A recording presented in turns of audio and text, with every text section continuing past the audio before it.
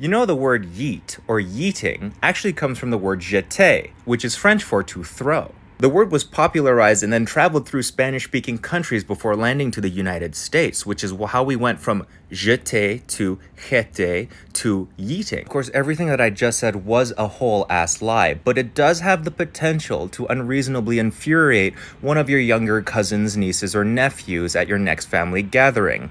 Hi, this has been Chef Jon Kung. Follow me for more tips on how to gaslight other people's children.